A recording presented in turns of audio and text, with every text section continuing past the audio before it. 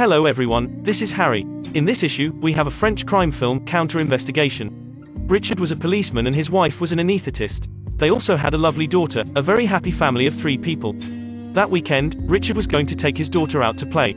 As soon as he got out of the gate, the police called. One of Richard's people was arrested for carrying drugs and need to be released on bail under Richard's name. Richard had to leave his daughter at home. He would be back in an hour. After Richard left, the daughter went online and told her friends about her sadness. The little boy who often talked with her asked her to meet in the woods. The little girl got interested and went to the appointment by bike. When Richard came back from the police station, he found that his daughter was not at home but didn't think much about it. He thought his daughter must have gone to play with the little boy again. But after a while, the bad news came from his colleague. One runner in the woods found the body of the little girl. Richard was devastated at the news. His nine year old daughter was the spiritual support of his family. She was the reason of happiness for the whole family, and now she was dead for no reason. The police didn't find any clues left by the murderer at the scene. But the coroner found lubricant on the girl's body. After investigation, the little boy could be ruled out. The police sent a large number of people to investigate. The suspect, Daniel, was quickly arrested, but the police didn't find any DNA evidence. There was only a way to dig important confessions out of Daniel. Although Daniel admitted that he had been to the woods, he strongly denied killing the little girl. But in the face of experienced police, Daniel's confession was full of flaws. He revealed information that only the murderer could know, so that the police immediately convicted him. One year later, Daniel hired a lawyer to withdraw his confession. And said that he was forced to confess at that time, because the investigators at the trial were colleagues of the little girl's father. They were rushed to conviction without witness and DNA evidence. It was obviously unfair to Daniel, even though the lawyer was right. But in the eyes of the public, Daniel's crime was still inevitable. In the end, the jury found murder guilty by a majority of eight votes. Daniel was sentenced to 30 years in prison. While Daniel was in prison, he began to write letter. He stealthily hid the first letter he had written into the hanger in the closet. Then he started writing again to the little girl's father. Daniel told Richard in the letter that he understood the pain of losing his daughter. He also argued that a person who seemed to be the culprit might not be the real murderer. And the real murderer might live nearby, and maybe he would kill others again. Missing his daughter and the murderer's shameless sophistry made Richard angry and painful. He could only secretly hid in the bedroom and cry silently, and dared not let his wife find out. Another year later, Richard was out on the case. He overheard the radio report that recidivists killed children many times. He had been charged four times and was now detained in Bordeaux. Richard got to Bordeaux as soon as he knew about the child murder case.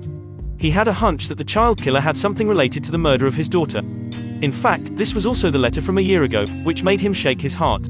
Richard went through four cases and found the child murderers. The murder was very similar to the murder of his daughter. Most importantly, the Daniels cousin lived close to the woods where his daughter was killed.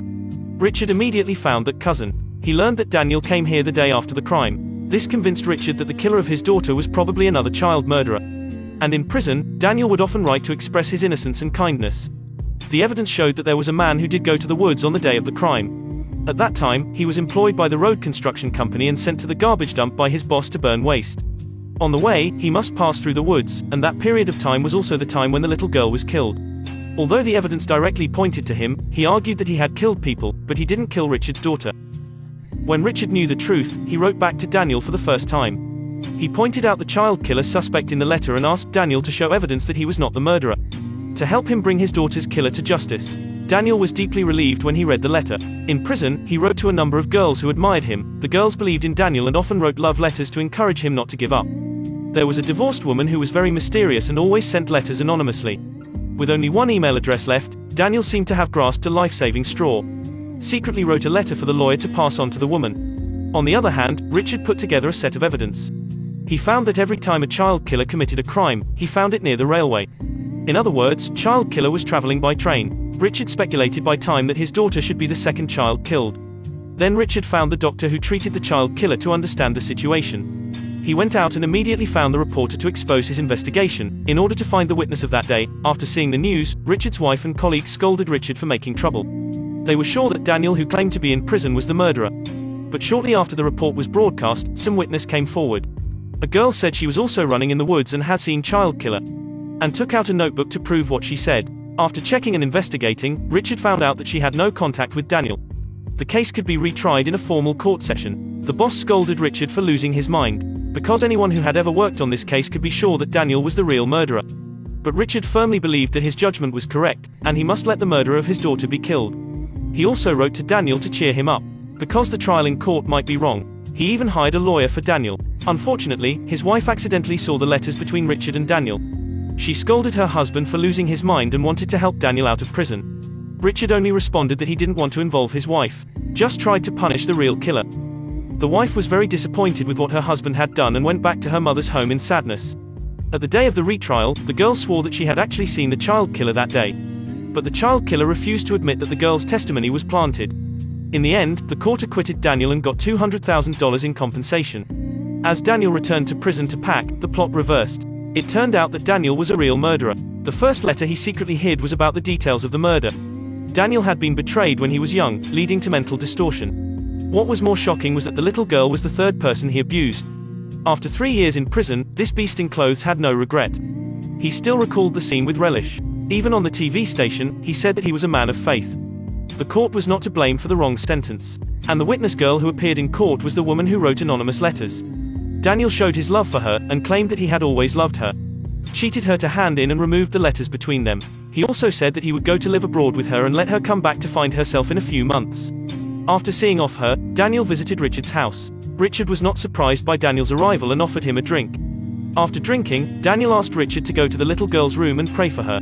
At this time, the plot reversed again. As soon as Daniel entered the little girl's room, he was put down by Richard's anesthetic in the wine. It turned out that Richard had long been convinced that Daniel was the real killer. But there was no sentence of death in France, and the murder of his daughter would still be released after 30 years.